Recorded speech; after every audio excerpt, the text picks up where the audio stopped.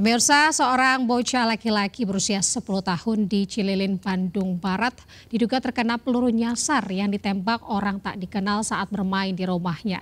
Proyektil bersarang di tubuh dan harus dirawat di rumah sakit.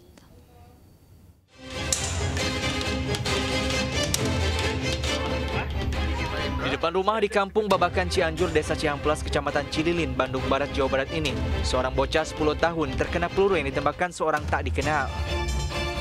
Akibatnya, proyektil bersarang di tubuh korban. Bocah SD itu pun harus dilarikan ke Rumah Sakit Hasan Sadikin, Bandung.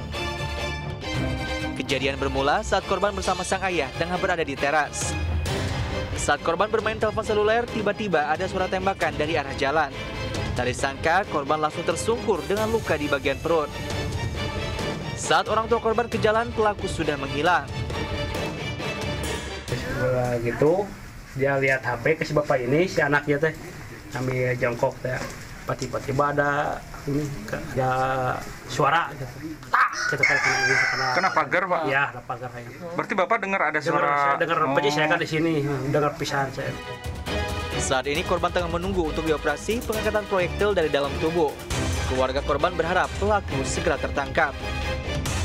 Dari Bandung Barat, Jawa Barat, Yuwono melaporkan.